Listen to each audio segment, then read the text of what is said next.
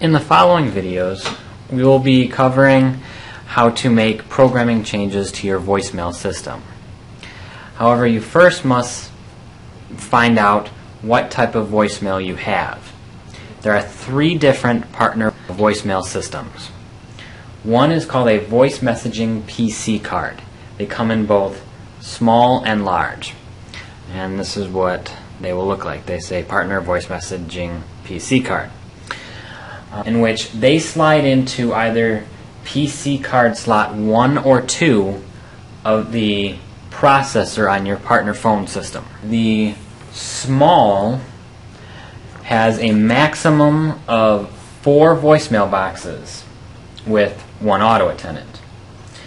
The large voice messaging PC card has up to 16 mailboxes with one auto attendant. You can change the large anywhere from 4, 6, 8, 10, 12, 14, 16 mailboxes.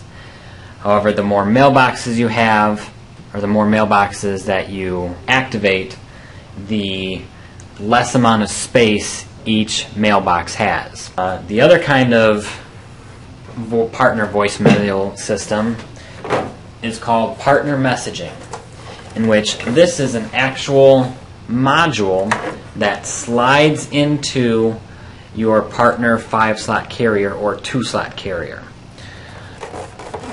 It says partner messaging, and it's an actual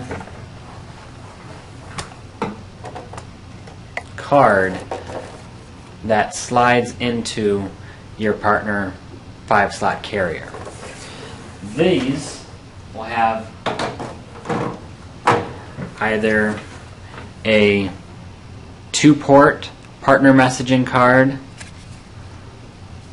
or a four port messaging card. Uh, the other type of voicemail is what's called partner mail. Now we don't have any here in stock at the office, so hopefully that picture will do you justice. It's a large gray box that'll say Lucent or Avaya partner mail on it that'll sit on the wall uh, next to your partner phone system. This is important to know because there is different programming in each of the voicemail systems.